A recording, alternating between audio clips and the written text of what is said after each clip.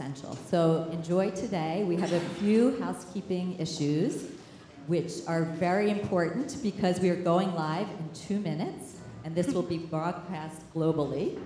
And we have a few issues, which is don't cross the cameras. You will then be interrupting the live stream, so be careful of that. If possible, please stay in your seats the bathroom is here, which really doesn't work. So we ask that you leave through the back exit only, and then people will guide you to a bathroom on another floor if you need to use one. And then lastly, no flash cameras. Obviously, that will disturb the live stream, and then you all know from the sign that we are filming. So welcome and enjoy.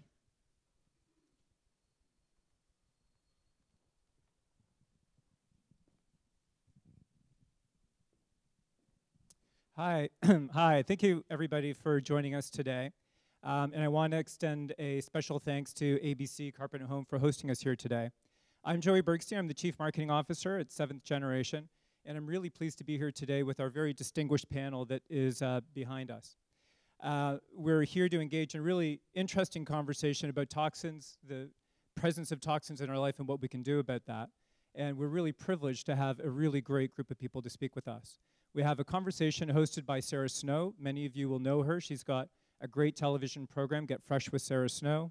We've got John Replogle, the CEO of Seventh Generation, Jeannie Rizzo of the Breast Cancer Fund, as well as Deepak Chopra, of course. Uh, before we get into the details of the discussion, I wanted to spend a couple of minutes just talking a little bit first about Seventh Generation and what we stand for, as well as introduce some of the learnings that we've seen in the study. So, Seventh Generation, for nearly 25 years, we're celebrating our 25th anniversary next year, has really been at the leading edge of trying to drive change through business. We fundamentally believe that the best way to have an impact on society, on our collective health, is through business and through our business practices.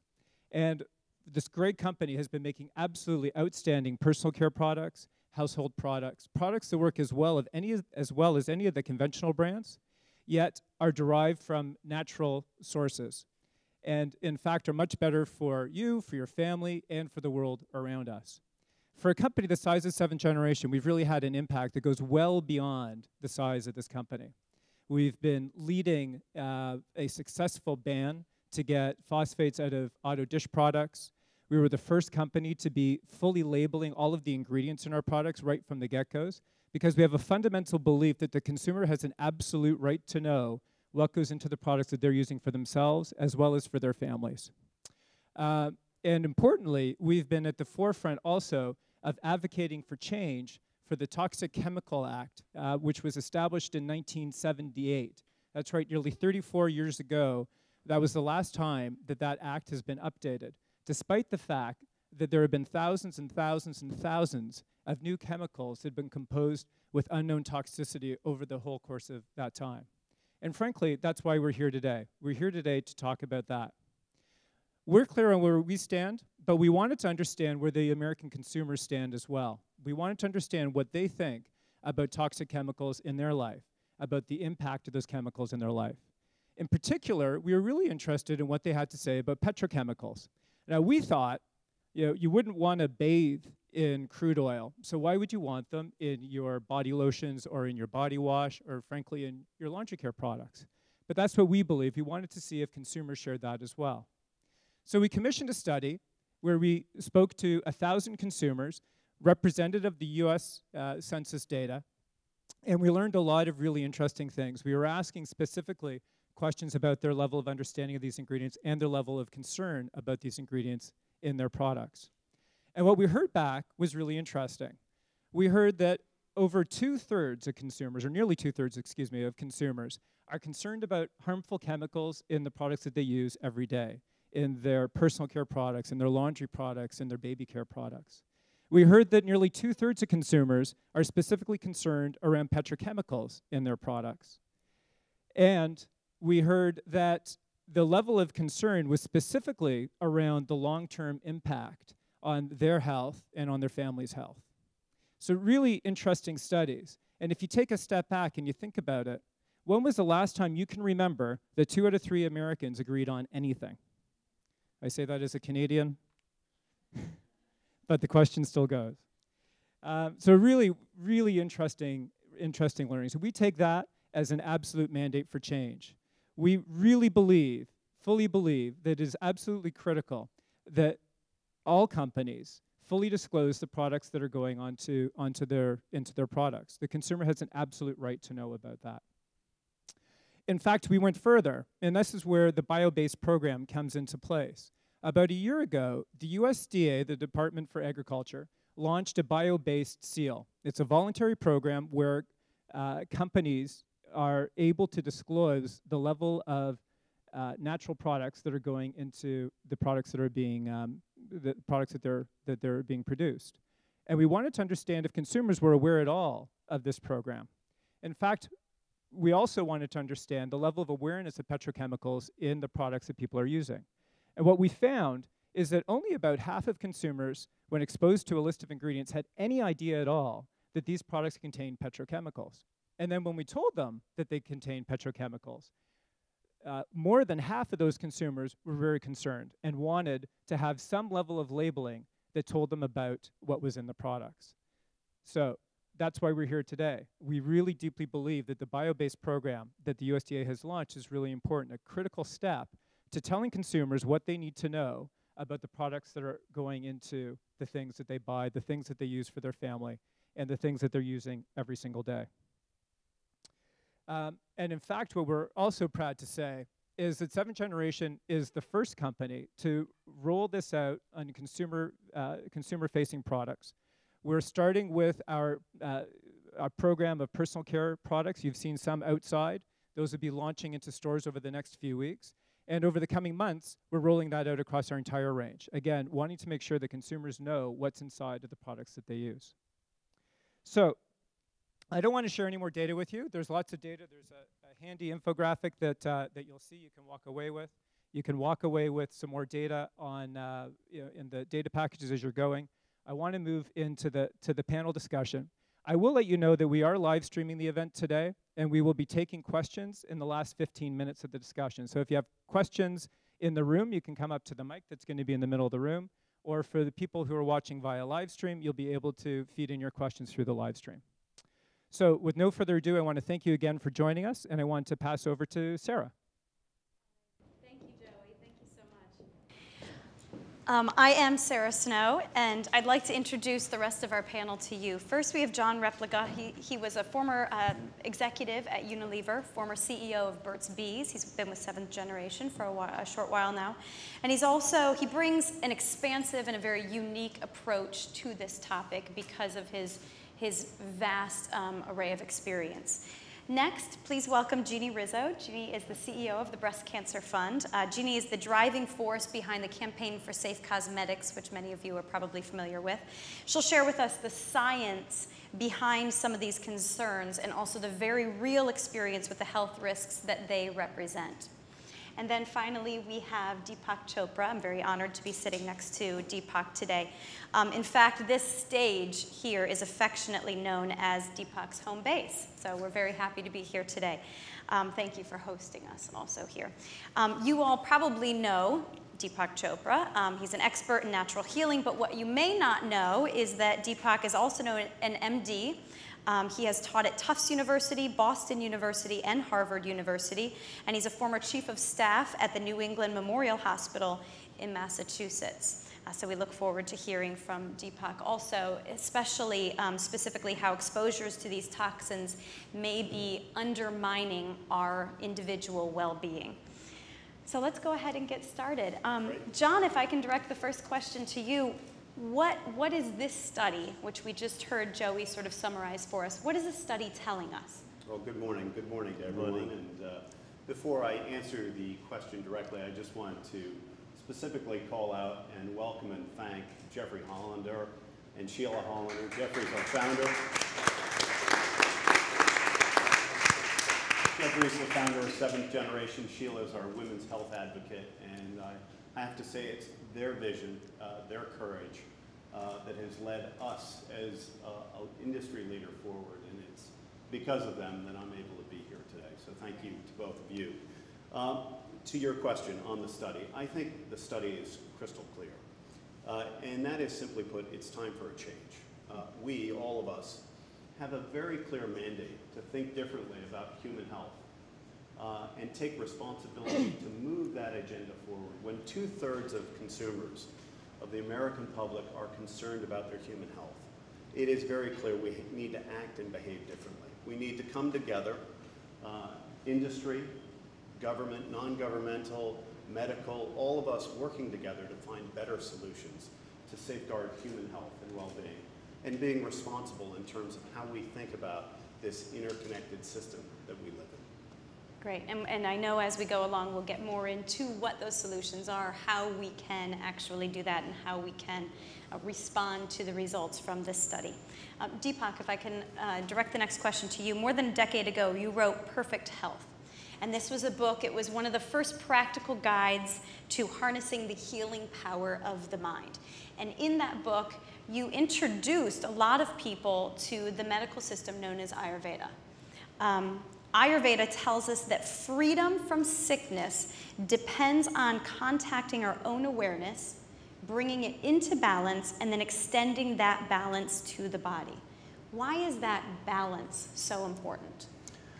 Well, all biological organisms, not just the human biology, biological organisms, have what is called a dynamic state of non-change, which we call homeostasis it's a fundamental state. So when you injure yourself, um, the body goes into a response to heal itself. Mm. Uh, when you have an infection, the body responds by making antibodies and so on. And petrochemicals are literally agents of war. They're related to things like Agent Orange, mm. which is meant to create violence in the ecosystem. And your body is an ecosystem. It's it's a recycling ecosystem. And you're introducing inflammation in the body when you use these. And um, inflammation now, we know actually, is the underlying factor in many ca cancers, in many autoimmune illnesses, in those who are susceptible to infection and degenerative disorders. There's not a single um, illness that doesn't have inflammation as a background. And we're introducing literally an in inflammation into the body. An inflamed body and inflamed mind, they go together too, by the way. And so when we introduce these agents in our bodies, and whether they're through our skin, which is the same germ layer that gives rise to our gut and our brain, by the way, mm -hmm. is called the neuroectoderm, you're basically creating war on the body. And you're also destroying the ecosystem because we are recycling with the ecosystem, the web of life that nurtures us. It's really frightening to hear it described that way, that they are actually, petrochemicals are actually agents of war. And violence, yes, huge. And violence. Jeannie, let me turn to you now. The study shows that the long-term health effects and absorption through the skin were top concerns, two of the top concerns um, of people. Um, let's talk a little bit more about petrochemicals and why are they such a concern? Well, I think you heard a, a bit already. Petrochemicals come from petroleum, and half, uh, more than half of every gallon of petroleum that's produced is not used to make gasoline. The other half is used, and you know, the, the, when scientists came up with this idea that they could synthesize them into other things, they were not knowing, and there was no mandate for them to know what they were making and what the impact of that would be on health and the environment long term. So when Joey said there were 84,000 synthetic chemicals in commerce, 62,000 of those were grandfathered in in 1976. So these petrochemicals are, are used, they, you know, they're degreasers for gear. They can take the paint off your, your garage floor. And those same chemicals are synthesized into and formulated into products that are used to clean with, to make lipstick stay on, to make lotion softer. And you've got and what they do, the characteristic that they have, that most of them have, is that they disrupt the hormonal system. That they actually trick your body into believing it's been exposed to a hormone. So it reacts that same way. And the body isn't prepared to react to that, to that many external hormones. So in the case of when we look at it from the breast cancer standpoint, you have women who are pregnant, babies, young girls. We're seeing girls go into puberty earlier and earlier. I don't need to give you a scientific study for you to know that. That's really obvious. And what's happening is that we're provoking the, the lowering of the age of puberty, which has an impact on later life breast cancer. Mm. So the, the more cycles a, a girl is exposed to hormones, including hormones from the outside. So our concern with petrochemicals are that it is multiple doses over and over, day after day, with 20 or 30 products a day that we use, and that the impact is, as Deepak said, obviously the inflammatory process is provoked, the hormone system is disrupted, and our body is doing all it can to respond. And, and our breasts wind up being the toxic dump site of these chemicals. So it's, it's, it's uh, a very disturbing to, to be thinking about how we use petrochemicals at will. And it's, it's repeated exposure because it's not just in one or two of the products we use, it's in so many of the products that we use directly on our body or that we come into contact with. Jeannie, I'm going to ask you to repeat something that you said sort of at the beginning of your answer because I think that even as well educated of an audience as we have today, I think it's still alarming to people to hear this that when we mine for oil, not all of it is being used for gasoline. And, and repeat that, the, the percentages. About, uh, I think it's 47% is used for gasoline, somewhere around half of all oil. That's how petroleum Vaseline jelly was discovered, out on an oil rig. The sludge that was coming off was a really good thing to lubricate the people who were out in the, with the sea salt. If just, gosh, that works, you know? and so nobody thought, well, what does it do? What does it do? And it was dark, so they just made it light green. I mean, it's the kind of thing where not thinking consciously about what happens to human health, what happens with the disposal of these things, how we're recycling and upcycling these products and these chemicals and over and over. And there's not anyone saying we have to hold that responsibility. The Mm-hmm. government doesn't do that. That's our, that's our collective job Mm-hmm. to hold accountability for this. And that's why I'm so impressed with the transparency that Seventh Generation has had from the very beginning. I mean, you know what the, what the chemicals are. You know what the, what the ingredients are. What the You can make a decision, uh, as opposed to fragrance. What does that say? I mean, how many potential chemicals can go into a fragrance job? I mean, Thou- Literally thousands. right, Mm-hmm. exactly. of different ingredients just to make up that one word fragrance on an ingredients list. John, let's jump back to you. Um, the study shows that two out of three Americans, it's a big percentage, are concerned with potentially harmful chemicals in many of the products that they use daily. Put that into perspective to us. And would you consider this a mandate? I- I think fundamentally it is a mandate, and the good news in this study is that more and more consumers are becoming aware of what they're putting on their skin or using around their home or with their children.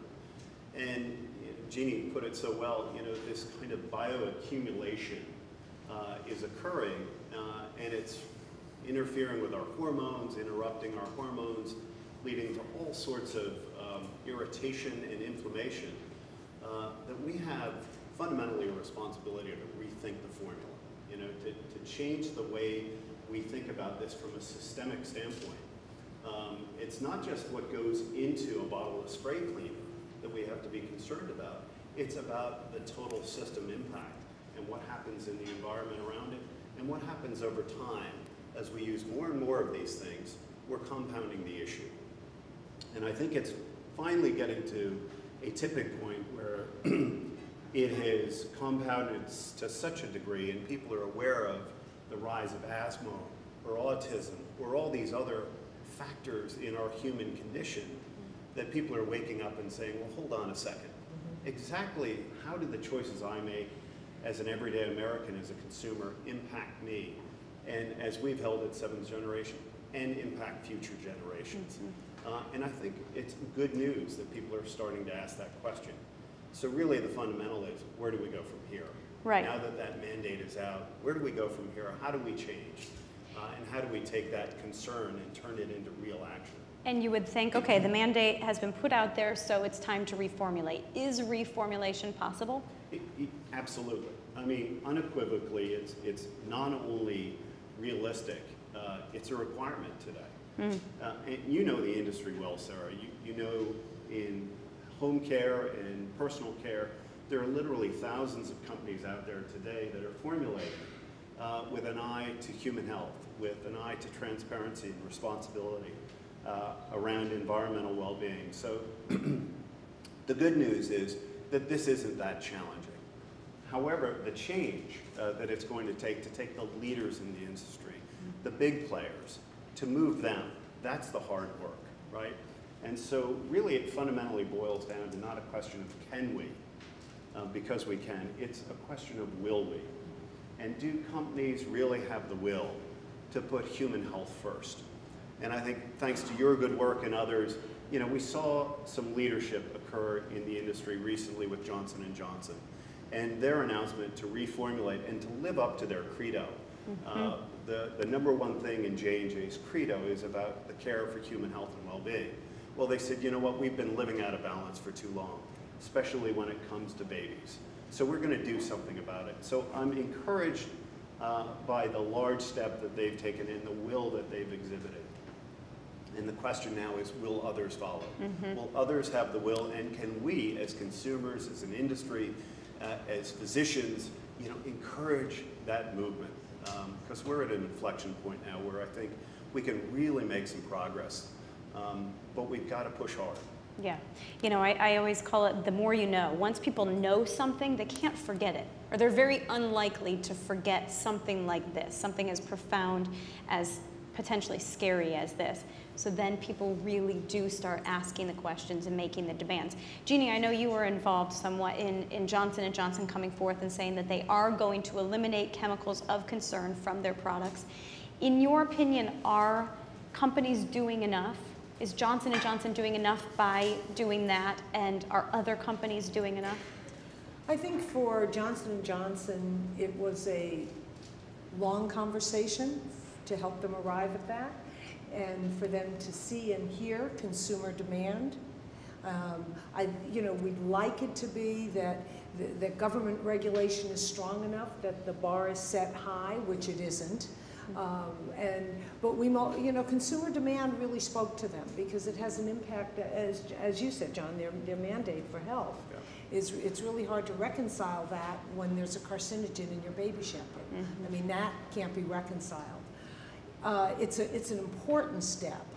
It's, it's slower than it needs to be, and the investment that companies of multinational companies, huge companies like J&J, hopefully will continue to make is into the green chemistry that they need to have, the way to formulate products, the way to think about the design and the structure and the disposal of these ingredients, these products in a way that are healthy for the environment.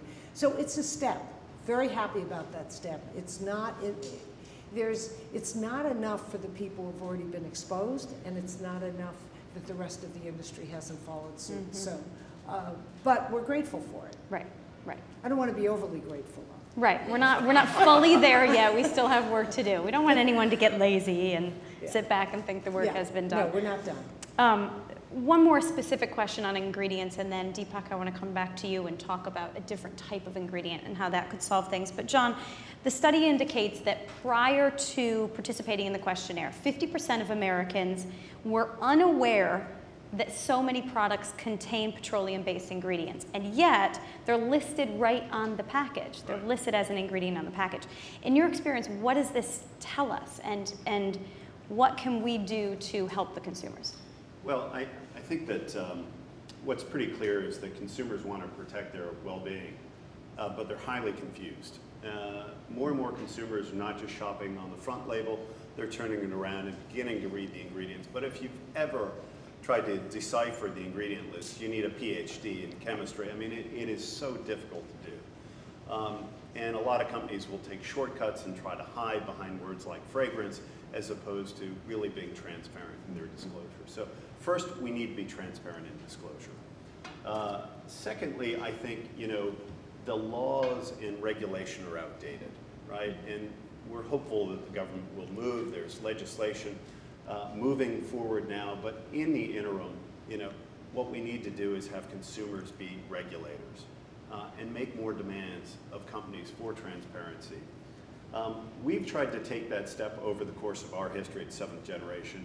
Uh, Jeffrey pioneered it with trans, uh, transparency and label uh, disclosure of ingredients, not required by government, but it was the right thing to do.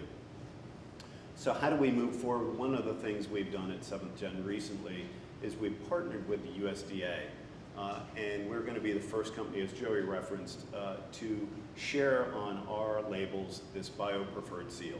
So consumers can come and understand by looking for that seal uh, that we are plant-based, not petroleum-based, that our products are formulated from nature, not from the synthetic uh, byproducts of, of petroleum. So uh, I think that's a positive step. I would hope that more and more people will look for the USDA bio-preferred seal uh, and that other companies will join us as we try to make it easier for consumers uh, to shop and to make choices for their health and well-being uh, in the days ahead.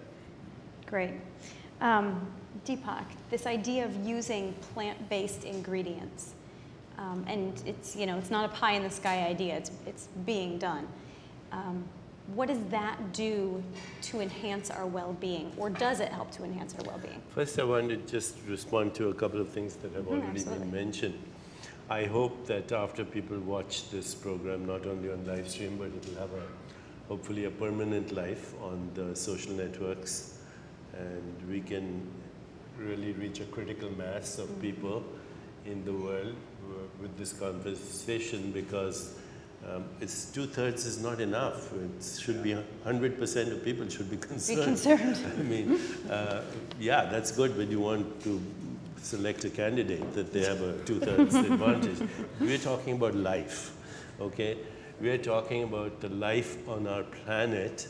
We're talking about interfering with hundreds of millions uh, of years of biological evolution um, with this and destroying uh, the ecosystem in a few years. Um, we are also looking at something very insane right now. You know, hundreds of billions of dollars are spent on medical research for things like cancer, um, degenerative disorders, Alzheimer's disease. Uh, the fact is that those hormonal disruptions and steroidal disruptions occur because we are also interfering with uh, genetic activity. Otherwise, you wouldn't have that, you know. And our genes are also ecosystems in and of themselves. So only 5% of genetic mutations are inherited. The rest are dependent on what we call the environment, which is a silly word because the environment is our extended body. You know, the, the more we use this word environment, we separate ourselves uh, when in fact the trees are our lungs. If they didn't breathe, you wouldn't breathe. Uh, this air is our breath. The, the earth recycles as our body. The waters recycle as our circulation.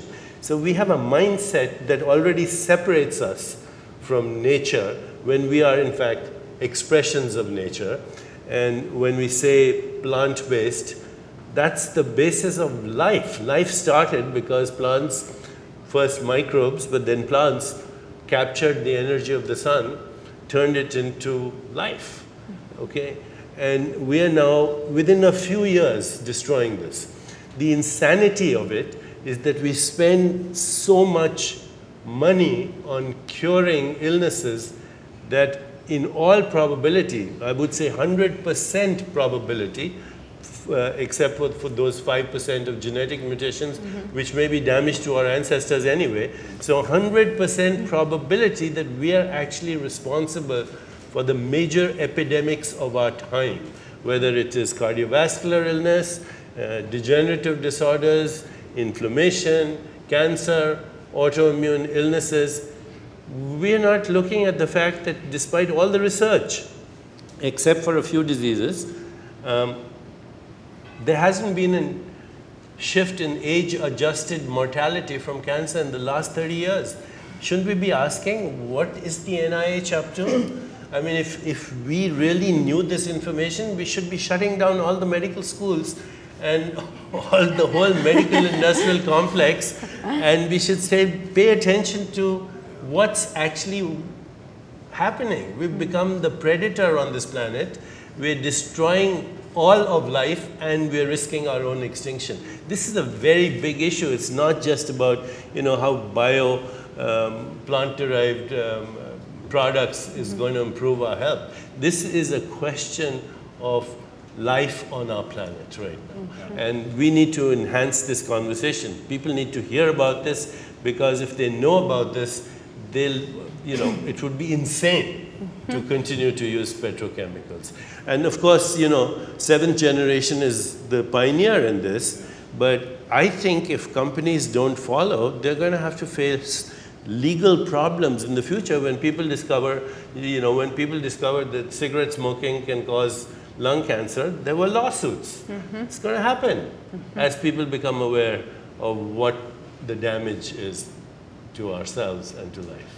I really like the idea of, well, obviously that the environment is we are in direct contact with it, connection it's with us. it. It's a part of us. We but you're right. People look at it as this sort of foreign body, and I can't really do anything to protect that or to allow it to protect me. And we look at ourselves as two separate entities, yeah, but really we need to, view ourselves conscious choices about one. whether we value life or not. Mm -hmm. You know, I'd like to comment uh, because the, the whole idea of what kind of research do we do and what do we invest in is something that is of great concern to us. and, and in the past, it's required that you conduct long-term epidemiological studies to, to really see, you know, come up with, say, what is the real risk for this exposure, one exposure to one chemical and one disease. And what gets missed in there, you can't possibly, we live in a multiple chemical environment. And, and so I think that, that need to shift the investment into prevention research, into looking at it differently, into navigating the science, into looking at what is biologically plausible. Does this chemical act this way in the laboratory? It's likely to act that way in our human bodies. We ought to take a public health stance, which would be to protect us first rather than give the chemical the free rein in, the, in our products, to say, prove it's safe, rather than we have to be the human experiment and prove it's harmful.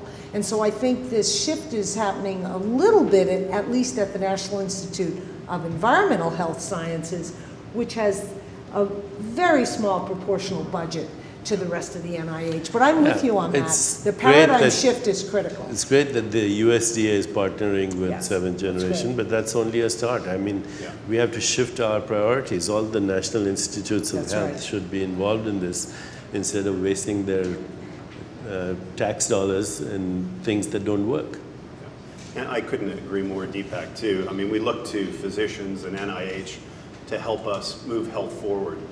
Uh, but at the end of the day, and that's part of why I do what I do, is that I think business uh, is one of the most powerful forces for change. I mean, we've got great power, and with that power comes responsibility to make better choices. So I think really the solution to long-term health and turning around this kind of bioaccumulation of toxins, uh, that really has to flow through business. Business has got to take the lead uh, we've got to make, make, make a change for human health because, as we say at Seventh Generation, we believe you can't live a healthy life on a sick planet, right? We have to see those two things as connected. Uh, and we have to be conscious of the choices we make every day uh, that safeguard the environmental and human health uh, for the next seven generations. So it's got to be led by business.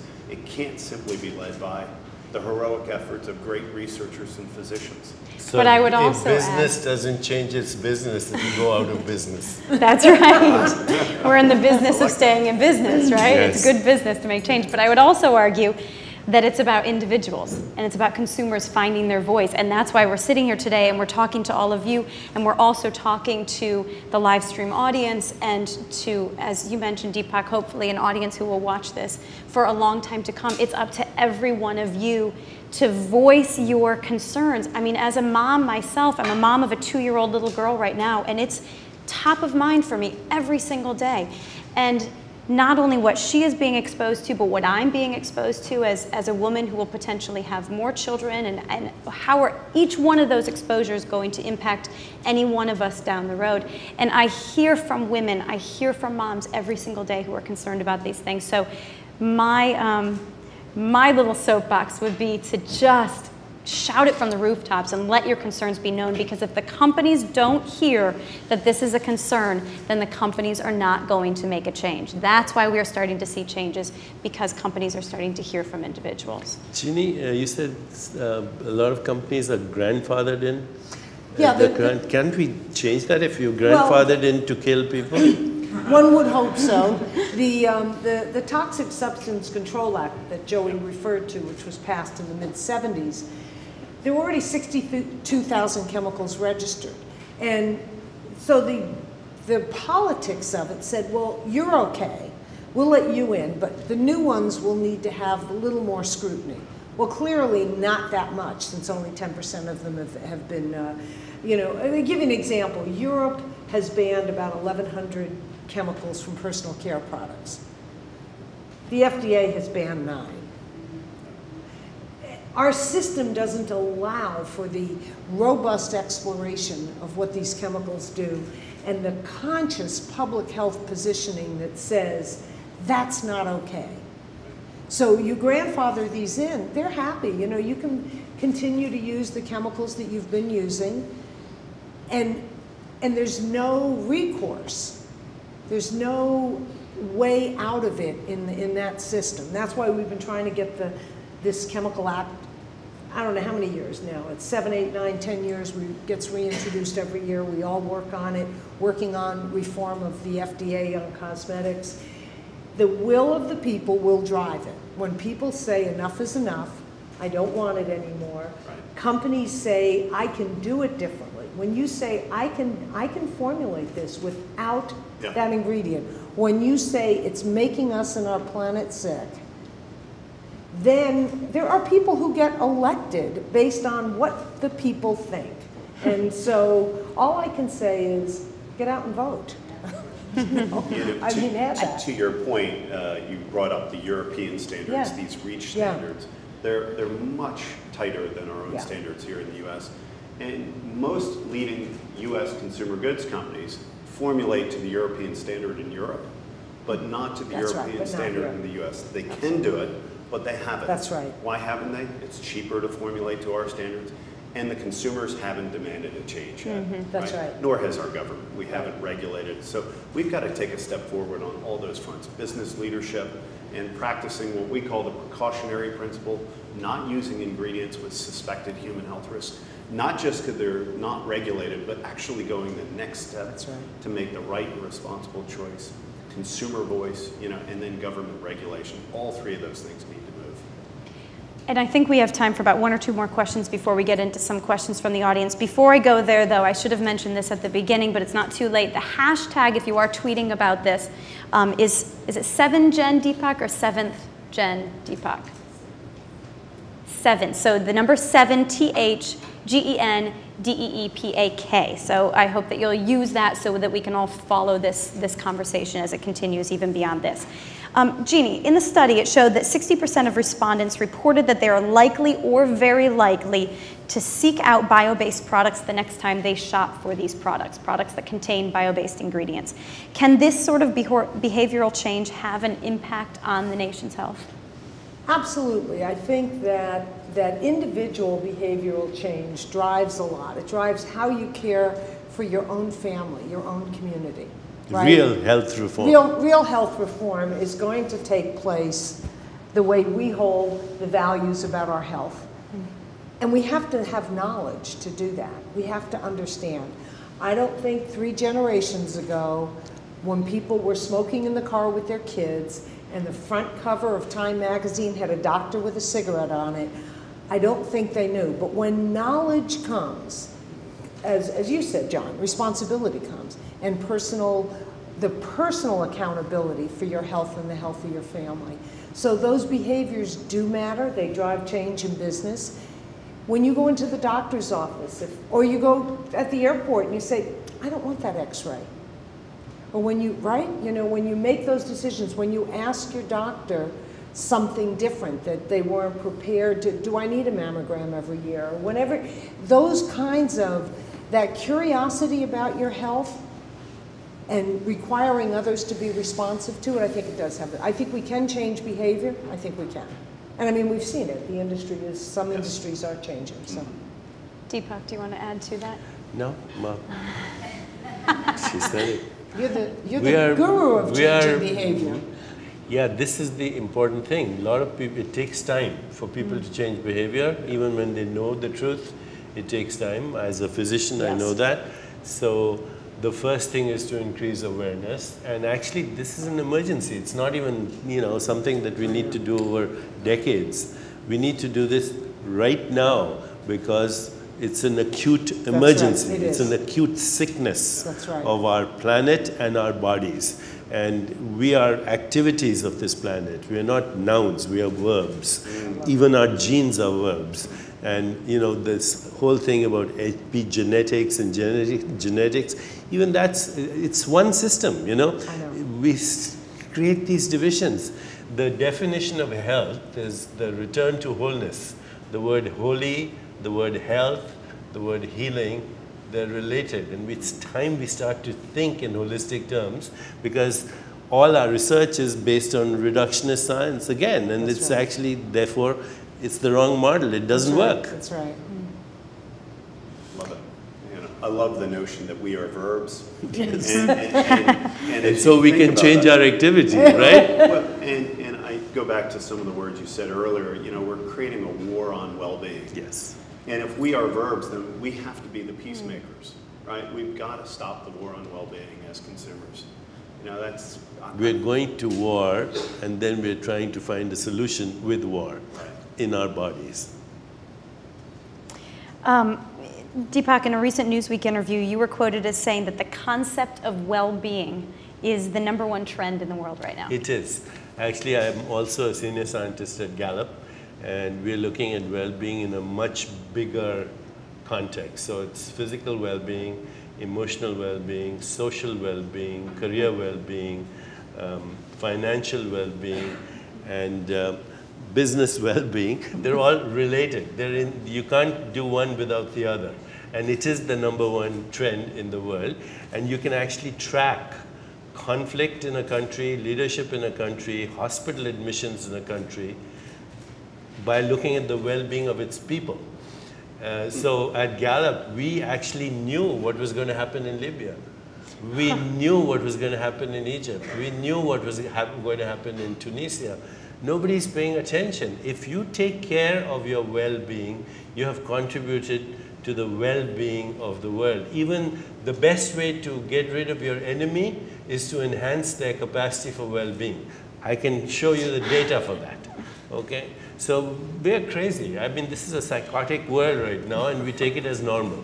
So what is the best way that we can Talk about or it like we're doing well-being? it, enhance the conversation, reach critical mass. When people, uh, when a critical mass of people are aware of something and change their behavior, the entire world changes. And that's also, you know, there are, what do you call, early adopters, outliers, and all of that. Everybody wants, has to be an early adopter right this moment. Final question from me, and then we'll open it up to all of you. Um, John, more than half, 54%, agree that they would like to see petroleum-free labels on the products that they shop for. Um, in effect, is the USDA bio-based seal um, this label? Is it, is it going to answer consumers' concerns? Well, I think it's certainly a step in the right direction. Um, and, you know, by putting the USDA bio-preferred label uh, out there, it, it invites more and more companies to make that better choice to formulate with plants, not petroleum, uh, and gives consumers an easier way to make choices for their well-being. So I think that's a good step forward in kind of removing the consumer con- uh, confusion and helping those who really do want to live a, a life of well-being make better and easier choices every day. You know, we're all time-starved. We're, we're confused. You know, how do we just simplify it? Uh, so that's the step forward I think the USDA has taken. Um, and it's going to go not just across products like personal care and home care, but across all products that we choose. So, you know, this is not just simply an issue for our, our industry and our categories that seventh generation is in, but for all industry. So hopefully it's a, it's a step forward and a broad-based step forward. Great. Let's go ahead and open it up for questions from our audience. Um, also, our live audience here today, but as well as our, our live stream audience who's watching from their homes and their offices. The first question. Len is going to bring the questions to us, maybe. I'll, I'll just be loud. We can hear There you.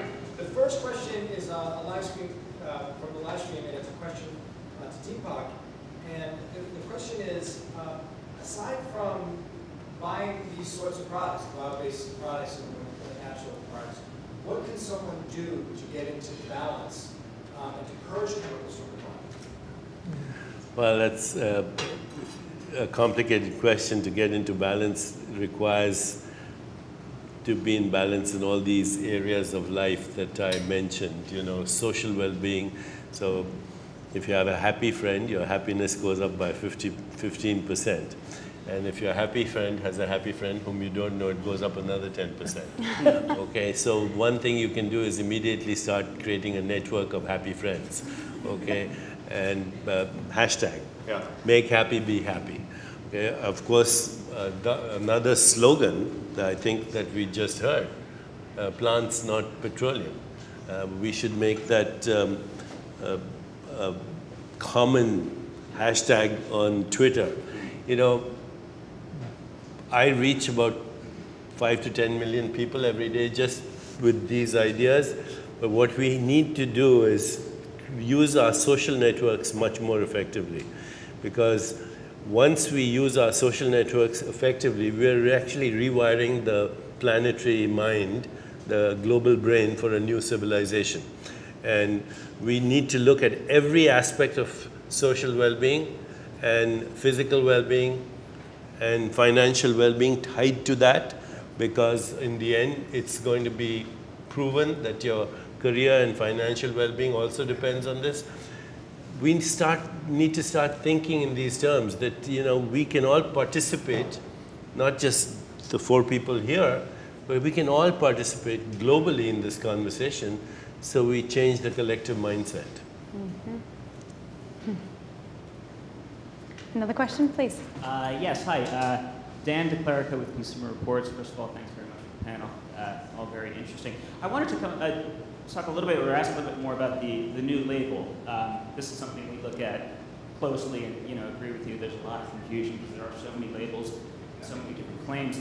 Um, so the USDA plant preferred, first of all, how does that differ from the USDA organic label that we're starting to see on detergents? Um, and how are they both different or better than something like uh, the EPA's design for the environment, Yeah. which seems to address toxicity, you know, more directly or, or directly anyways, um, as a you know, as a father of a young child, it's something you know, I, I Great. you know, look close to that. Th- Thanks for the question, Dan. Um, A couple of things. The USDA organic standard uh, is a wonderful standard, uh, been around a long time, and it talks about the way things are grown. In other words, you know, they are organically based. Um, thi- What the, um, uh, the biopreferred talks about is the ingredients themselves uh, and where they're derived from. Uh, So there's a real clear choice. Did we grow it? Is it from a plant? Or was it basically derived from petroleum? And so it measures uh, the amount of bio content, if you will, that, that, that content which comes from plants, as opposed to the way the organic standard uh, says it was developed. So at the organic standard, frankly, you can have synthetic or petroleum-based ingredients and still be certified organic. Um, because that organic, ma- that matter that is plant-based was organically grown. So it's a really different shift, uh, and it's more in line with the, the, the DFE, the Design for the Environment, uh, which the EPA has pushed. But this one really goes right back to, uh, it's going to be broad-based, uh, USDA certified across industries. And I think it's the first of its type, uh, different than uh, many of the labels that we have that are unique to different categories. This one will go cross-category, and therefore it will be an easy beacon for all consumers to see, no matter what they're buying uh, uh, for, their, for their home, for their family.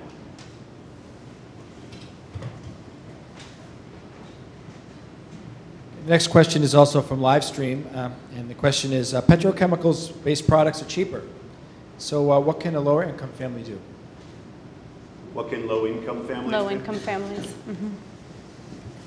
This has certainly come up in the, um, in the canned food arena when we're talking about bisphenol A in the lining of cans and, and the amount of canned food used. The, what we found in the personal care products was once we got 1,400 companies to, to agree to change, you started to see, not just in the salon nail polish, but the CVS and the Walgreens and the, and the, across. So you've got a Sally Hansen and a spa version that don't have formaldehyde, dibutylphthalate, and toluene. It becomes possible. I think, I think it's, it's, um, it's not going to happen first in the low-income sector, but it gets there if those that can make those choices with their, with their money that will drive the market. So it puts a greater responsibility, I think, on those that can afford it to help drive the market and the prices go down. You, you remember you couldn't get, you couldn't get organic in Safeway 10 years ago, or process chlorine-free copy paper at, at Office Depot. So these things have shifted in part because people that could, individuals that had the capacity, made that investment. So I think it, it's, it's incumbent on those of us who can to invest for those who will, who will be lifted by our work. I would also, if I may add to that from just a very practical standpoint, because I hear from a lot of people around the country every day, and, and uh, affordability is top of mind for so many people. And the other idea of when it matters, as, as you know, as this person who wrote in this question knows that it matters, when it matters, vote, you know, vote with your dollars. Every time we make a purchase, we are, we are casting a vote for that company, the people who made that product. So maybe buy less products. You don't need 15 different cleaning products to do a few jobs. Buy those three or four cleaning products that are the quality ones that are going to matter, that will not do harm to the body, and save your money other places. And it costs a lot more to treat cancer. Yeah, exactly, than to avoid the hospital run, in the first right, place. It's going to cost a lot more to treat these Yeah. illnesses. What you said, I don't know if everybody caught that, uh, but you can have something organic and still have petroleum in it. You bet. I think people have to realize that. That's a very important point. Do we have another question? I think we have some uh, shy folks in the audience here. Uh, another question uh, comes in. This one's for John. And the question is um, what will seventh generation do? Now that you have this study, is there any plans? I know it just came out today, so, but are there any plans to, uh, to use it to educate consumers um, or you know, otherwise let people know? Yeah, and, and this is a great first step. Obviously, we wanted to get a forum together, uh, some influential leaders. Deepak has global reach. I mean, just get the message out is the first step. Secondly, we've invited all of you in the audience. Um, and, and once you have knowledge, you have responsibility, right? So back to all of you, what will you do with this information? How will we change the dialogue together? Um, if you're not part of the solution, you're part of the problem. So we have a responsibility, all of us, to talk, to raise awareness, to continue uh, to make this movement come alive. Uh, and we at Seventh Generation will continue to use our social media outreach, our million Facebook fans to, to engage the conversation, uh, to continue to partner and encourage others in the USDA uh, to join the USDA. Uh, we will make this uh, a centerpiece of what we're uh, going to celebrate in the year ahead, our 25th anniversary. So this is the beginning of a dialogue for us, uh, certainly not the end. Hi, my name is Meredith Turits. I'm from Glamour. I'm the health editor there on the website. Um, I'm just curious if you see a difference between uh, the way men and women react um, uh, physiologically to the chemicals that are um, harmful within these products. Um, you know, whether they are uh, more harmful to women, um, you know, while they're kind of in early stages in their bodies, later on, um, you know, whether their replacement chemicals have been beneficial, you know, uh, to the replacements, you know, have been more beneficial to women, to men, whether there's any difference at all, um, you know, or if it's kind of just across the board a, a better solution for both men and women. Deepak and I are gonna, gonna both uh, address this. I think one of the things that I, I referenced before just a little bit was, was the, the timing of exposure. So um, there's tremendous impact on the developing fetus in utero, both on the male and the female um, uh, during that period. Early life, any time that there's rapid cell development, which is growth time, so that's you know, in utero, early childhood, just before puberty, puberty, when a woman is lactating, there's tremendous vulnerability. The cells are very vulnerable during that time. And, and a woman's body has a unique response to chemicals that act like hormones. A unique response. That doesn't mean there isn't a response in the male body to hormones um, as well. I mean, we are seeing an increase in testicular cancer in young men. And we're seeing this, that, that are, there's a corollary between that, and, and maybe Deepak can expand on that. So if you wind up having these, these exposures at a critical window, and it doesn't matter if it's a big dose, it can be a low dose, it can be multiple chemicals at not great doses, over time can have an incredible impact on later life health. So yes, I mean, a woman's body does react different because of her, um, because just of, you know, that we're hormonally different. By the way, I'm, I'm a hormone specialist. My training is Oh, in well, you let me go first? endocrinology. Thank you. My training was in endocrinology, but no, you're right. But here's the point actually, it's much more obvious in women Yeah. because of the menstrual cycle and infertility that can occur, not only damage to the fetus. So it's much more obvious in women um, than in men. But I'm sure that men also Yeah. Have these problems. It doesn't become so easily apparent. Thank you. And we have time for maybe one more question. Um, My name is Sheila Hollander, and just to follow up on that, um, this is for Jeannie Rizzo. In your work as the uh, CEO of the Breast Cancer Fund, I know that you have uh, studied the rates of cancer that have doubled over since 19, the 1940s. And there's a recent book that came out by Florence Williams by the name of Breasts. And um, this woman had her breast milk uh, checked to see what kind of chemicals were found in there. And I don't want to horrify everyone, but there were some very bad chemicals in there. Can you speak to how women's bodies and men's at this point, because men have breast cancer just as well as women do, how these are absorbed in the body? There are certain chemicals that are, are what we call lipophilic. They're fat-seeking, and they seek the they seek fat. They wind up being held in breast tissue. So the target organ for breast cancer is is loaded with chemicals that seek fat. They and so what happens when we've tested breast milk, especially before a woman's first lactation, the very first milk before her first full lactation and found hundreds of toxic chemicals in there. And in Sweden, when they found, for example, flame retardants in women's breast milk, they banned the flame retardants. It was a pretty simple thing to do. We don't want flame retardants in breast milk. Now, that said, breast milk is still best, but we want to be sure it's pure and it's protected. So the breast is a signal. What's going on with women's breasts in this country and around the world are a signal to what is wrong. I mean, if we just pay attention to that, you know, what's going on with women's breasts, we'll understand what we're doing wrong about the planet and about our health. It's the adipose tissue, the fat tissue. It's very metabolically active, actually.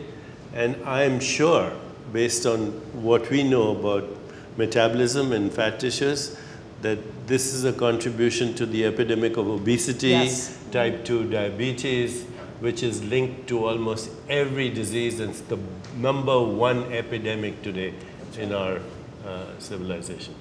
And the more fat you're holding, the more that you're recycling and upcycling those chemicals back into your body. So it's a vicious, vicious cycle. I think so. I want to say thank you to our live stream audience. In case we, we lose our window and, and we lose the people who are watching at home, I do want to thank you for joining us And today. spread the message on Twitter, Facebook, That's right. Google Plus, everywhere. everywhere you possibly can because it's up to every single one of you to help keep this conversation alive. So thank you to all of you joining. Um, and we will take one more question from the audience. My name is uh, David Fox. My wife and I are shareholders of seventh generation. In the 90s, I did sold PBS plus specials with uh, Chopra. I feel that the issue is a little abstract. Thousands of chemicals, dozens of products. Ronald Reagan, may he rest in peace, was not my hero, but what he did at the State of the Union uh, speeches that he gave is he personified abstract issues with one individual. I think that we need to come away from this with specific individuals that have been harmed that can be held up as examples to break through the abstraction of this issue. I'm wondering, are there test cases, people that we can point to that we can personify as symbols of this issue rather than leave it as abstractions of thousands of chemicals? I think we need to do that. Uh, absolutely right. I mean, if we start looking, we'll start to find these people. and that should be a priority. Yeah, and I think we can hold up uh, industry as well, companies specifically. So we talked a little bit about J and J and their choice. I think that is making concrete uh, the fact that we can make a movement within business. Uh, we need to look uh, across specific chemicals uh, and talk about those specific individuals, specific businesses, because I think this is a multifaceted problem uh, that's going to need a very complex solution uh, to reverse the tide of all the years of bioaccumulation that we carry around in our planet and in our personal beings. And I think to you, to the, I mean, I feel working in breast cancer where one in eight women will have breast cancer in her lifetime. And then you look at, for example, a personification of chemicals and disease that, Camp Lejeune, have you heard about the male breast cancer at the military base? And you have 80 men. And they all were at the military base exposed to toxic solvents. That's a dramatic personification. The challenge that we have with is there are so many diseases linked and so many contributing factors from different chemicals that a woman with breast cancer will say, I know it's, it's the exposures that I had over a lifetime, but I can't point to that exposure and that disease. Now, the, I think it's why the Camp Lejeune conversation about the male breast cancer so dramatically personifies it because men don't get breast cancer that way, not 80 all in the same place. I mean, there are 1,500 a year in the entire country. So to have, but it's a difficult, uh, it's a difficult challenge to make one face of hunger or of disease that is associated. So. Yeah, men don't have the same amount of adipose tissue Right. that, that women have, but they have other kinds of cancer. Right. You mentioned testicular cancer. Right. But the point is well taken. You know, if you have dramatic examples personified, people will react emotionally much mm. faster than with all this information. So that needs to be done. Thank you for your questions. And John, Jeannie, Deepak, thank you so much Thank you. for, Thank you, for Sarah. giving your Thank time, you for your um, for this Thank today. Thank you all for joining us, both, both in audience and also watching from home in audiences. And, and we, on behalf of this panel, ask you to just continue this conversation. If you are tweeting, the hashtag is 7th Gen Deepak, and if we can keep the conversation going, then we can demand more change, and that is really what I believe, we all believe, needs to happen. So thank you.